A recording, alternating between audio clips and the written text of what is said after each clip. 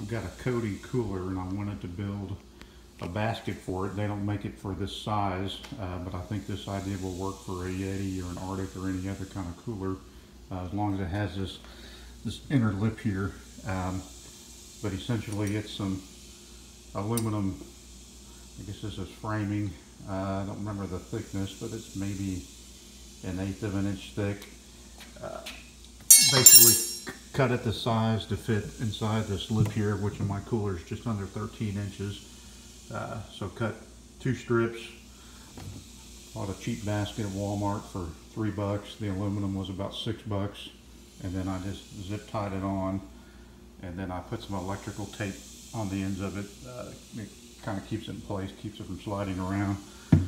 So very simple, very simple way to make a basket. About six, seven bucks altogether in materials.